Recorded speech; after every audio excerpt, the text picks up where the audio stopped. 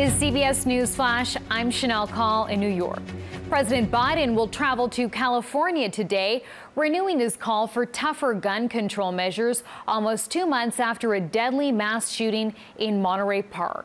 At his State of the Union address last month, Biden called on lawmakers to ban assault weapons. The White House has officially declared today National Equal Pay Day. The date symbolizes how far into the year women must work to earn what men earned last year.